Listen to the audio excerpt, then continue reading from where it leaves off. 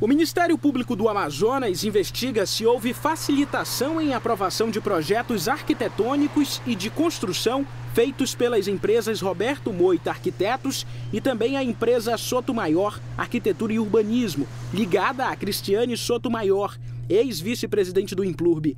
A denúncia diz que o presidente do Implurbe, Roberto Moita, e a então vice-presidente atuaram pela aprovação e licenciamento do projeto de construção do condomínio Cristal Park, na Avenida Humberto Calderaro, em Adrianópolis.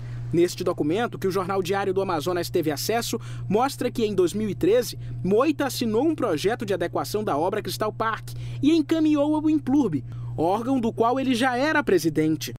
A equipe de reportagem da Record News foi até o Implurbe para ouvir Roberto Moita, mas não fomos atendidos. A assessoria de comunicação do Ministério Público informou que as investigações sobre improbidade administrativa já estão avançadas e que na semana que vem, quando o promotor que cuida do assunto, Ronaldo Andrade, retornar das férias, deve dizer se vai arquivar o processo ou entrar com uma ação na justiça. Mas tem uma outra situação que chama a atenção. É a respeito destes contêineres. Cinco deles foram instalados na Ponta Negra e vão substituir os quiosques.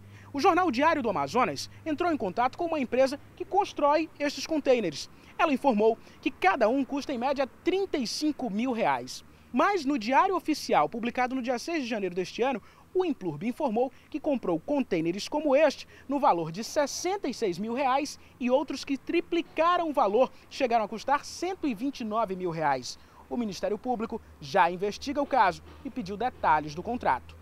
O MPE deu um prazo de 15 dias para o Implurbe prestar informações sobre o contrato.